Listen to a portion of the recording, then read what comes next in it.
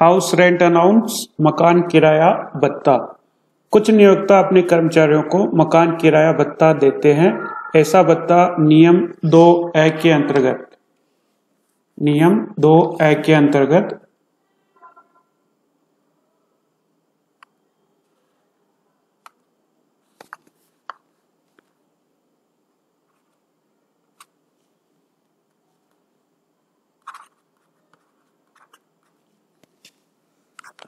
नियम दो ए के अंतर्गत दी गई सीमाओं तक आयकर से मुक्त है। यदि भत्ता इस नियम में दी गई सीमाओं से अधिक है तो जितना अधिक होता है, उतना वेतन में जोड़ दिया जाता है।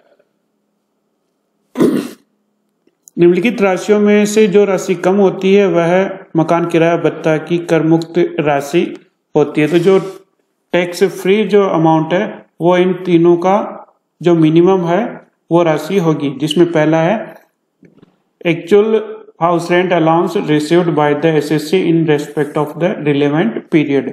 संबंधित अवधि के लिए प्राप्त मकान किराया भत्ता। तो जो अवधि है, उस अवधि में कितना जो राशि प्राप्त हुई है रेंट रिसीव्ड हुआ है, उसकी अमाउंट सेकंड में देखिए सेकंड में दो है कंडीशंस इसमें first if the house is situated in Calcutta, Mumbai, Delhi and Chennai. Then 50 percent of salary and at other place 40% of the salary due to the SSC in respect of the relevant period. यदि मकान कलकत्ता मुंबई, मद्रास, दिल्ली में से किसी भी स्थान पर स्थित होने की दशा में संबंधित अवधि के वेतन का 50 परसेंट और यदि अन्य किसी स्थान से संबंधित है तो सैलरी का 40 percent third rent paid in excess of 10% of the salary due to the employees in respect of the relevant period or rent paid minus 10% of the salary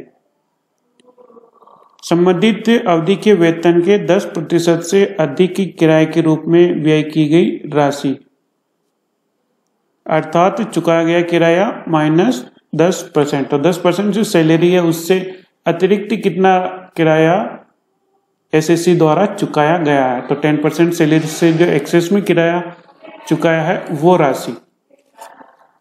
तो इन तीनों राशियों में से जो राशि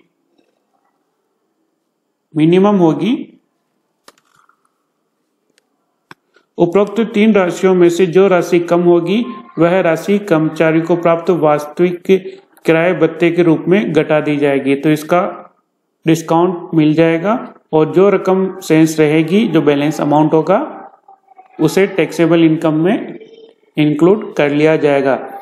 यदि उपरोक्त तीनों राशियों में से सबसे कम वाली राशि ऋणात्मक हो, जैसे थर्ड कंडीशन में माइनस में आ सकता है।